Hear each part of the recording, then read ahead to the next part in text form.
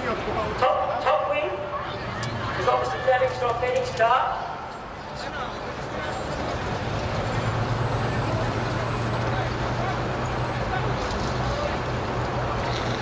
Just looking at Felix Clark.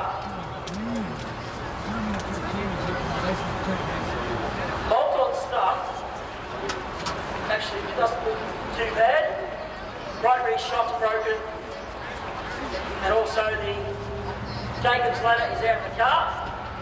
And also top tree is broken.